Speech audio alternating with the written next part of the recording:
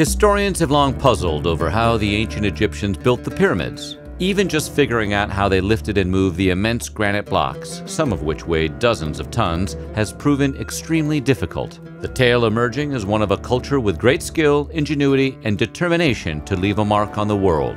Today we're going to take a look at how the ancient Egyptians built the pyramids. Before we get started, be sure to subscribe to the Weird History channel and let us know what ancient mystery you would like to hear more about. All right, here's one to build on.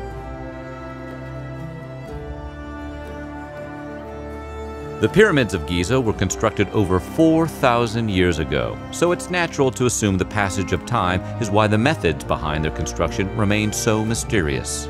While that's partially true, scholars now believe that it's also likely the ancient Egyptians deliberately tried to conceal those methods. Egyptologist Kara Cooney points out that, as much as anything else, the pyramids were works of propaganda. Part of their purpose was to prove the otherworldly and godlike nature of their kings. The sense that these structures were impossible for mere mortals or other rulers to build was a key part of that illusion, so concealing the secrets behind their construction would have been paramount. For many people, the first question that pops to mind when contemplating the construction of the pyramids is how did they move those giant stones? The answer begins right in the quarries where the granite was taken from. The quarries were filled with natural obelisks of rock. Workers would identify one of these obelisks and then remove the ground around it. The process began by chipping away at the weathered upper layers of the rock. Then they would dig deep trenches around the obelisk to free it from the rest of the ground. Next, the workers would clear a path to one side so that the cut stone could be pushed out horizontally as opposed to being lifted out vertically. We know this is how they really did it because archaeologists have uncovered a single unfinished obelisk which, for unknown reasons, was abandoned midway through the process of extraction. Even in modern times, quarrying granite and cutting it into a usable shape for construction is extremely difficult. This has led many to wonder how the ancient Egyptians were able to accomplish the task with such precision. While there is still much to be learned, one theory has some compelling physical evidence backing it up. Egyptologists believe the ancients used a very clever method which involved punching holes in the rock with an iron chisel and then stuffing those holes with wooden wedges. The wedges would be drenched with water, which would cause them to expand until they split the rock itself. Then the workers would chisel those fissures until the stone was in the shape of a block. As previously mentioned, the ancient Egyptians made every effort to keep the methods behind pyramid construction a secret. However, some evidence and documentation has survived, including the papyrus diary of a worker named Merer. Merer's diary, along with other sources, hint at a culture with a deep and meaningful understanding of physics. This knowledge allowed the Egyptians to create planes, wedges, pulleys, and levers, different kinds of simple machines. Construction of the pyramids was enabled by the ability to employ these simple machines on a massive scale with incredible creativity and ingenuity.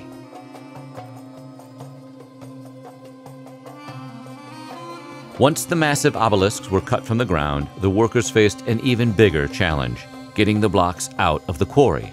Scholars have long wondered how the ancients were able to lift these blocks, which could weigh dozens of tons, without the use of advanced machinery. Recent archaeological discoveries at an alabaster quarry in eastern Egypt suggest that the workers used a simple but ingenious ramp and rope system to move the blocks. It worked like this. An upwards ramp was built with an adjacent staircase on both sides. Posts would be set into holes dug into the staircase at regular intervals.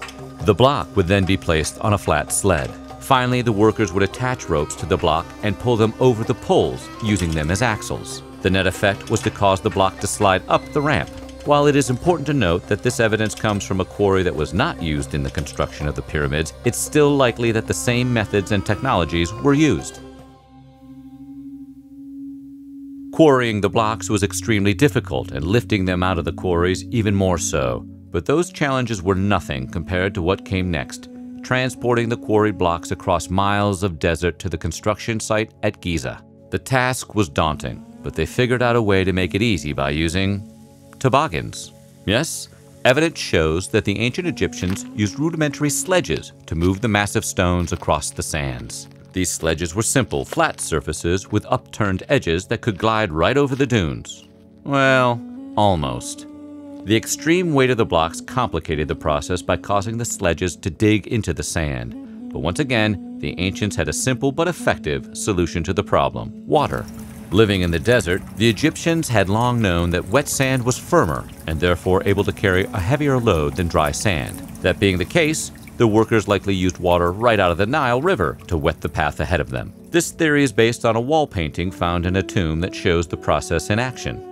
Previous scholars interpreted the water pouring as ceremonial, but later researchers suspected it might have had a more practical purpose. The method, which was eventually tested by researchers from the University of Amsterdam, was found to be very effective.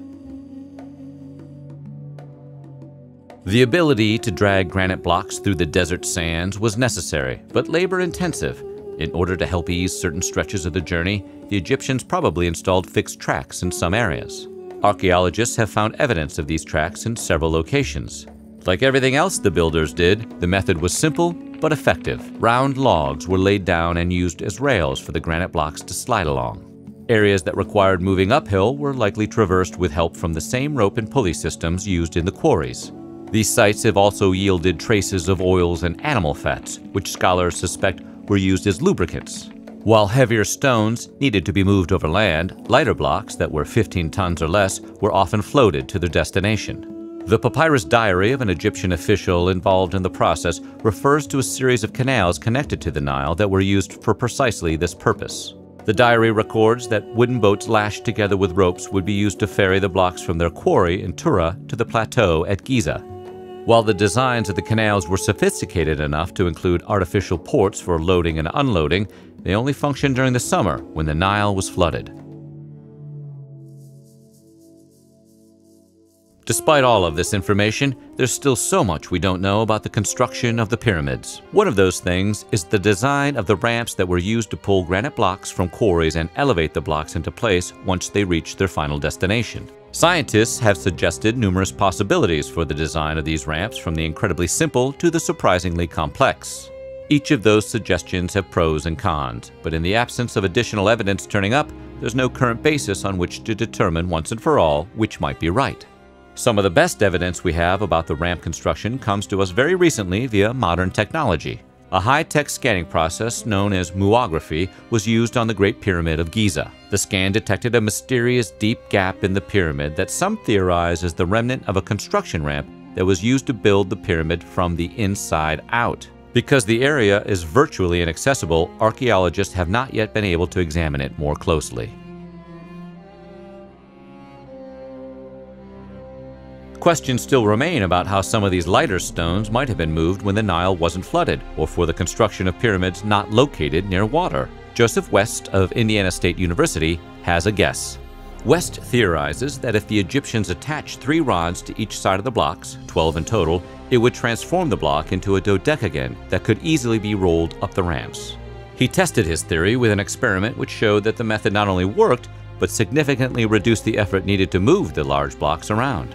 How significantly? Enough so that a single person could push the block a considerable distance. However, while the concepts involved were known to the Egyptians and their knowledge of physics made it plausible they could have figured it out, there is no direct evidence they used this method. Going back to the days of the Bible and Herodotus, it is believed that the pyramids were built on the backs of hundreds of thousands of slave laborers. Modern archaeologists, however, aren't so sure. Evidence gathered from the tombs of the workers suggests a fairly different scenario.